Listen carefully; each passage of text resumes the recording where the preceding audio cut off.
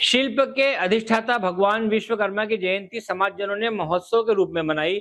घर घर शिल्पकारों ने भगवान विश्वकर्मा का पूजन कर चालीसा का पाठ किया। इसके बाद अपने औजारों का भी पूजन किया। औरंगपुरा स्थित श्री विश्वकर्मा मंदिर में भी सुबह से शाम तक धार्मिक अनुष्ठान किए गए। यहाँ विराजित प्रतिमा का सुबह पूजन अभिषेक कर गुजराती लोहार समाज जनों ने भव्य शोभा यात्रा निकाली। समाज के जितेंद्र कर्मा ने बताया कि शोभा यात्रा में सुसज्जित बग्गी पर भगवान विश्वकर्मा जी की प्रतिमा स्थापित की गई। गाजे बाजे के साथ निकली शोभा यात्रा में रास्ते भर समाज जनों ने भगवान विश्वकर्मा के जयकारे लगाए। कई उत्साही युवा एवं महिलाओं ने भजनों की धुन पर गरबा नृत्य भी किया।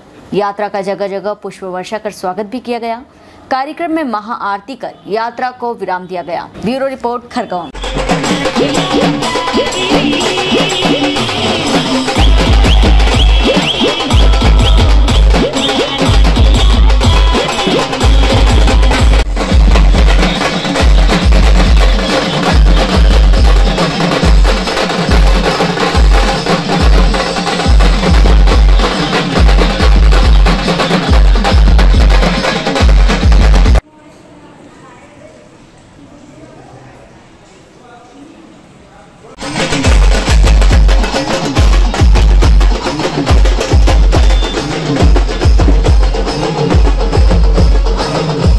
सभी विश्वकर्मा समाज मिलकर भगवान विश्वकर्मा जी की शोभा यात्रा निकाल रहे हैं। आज 17 सितंबर है।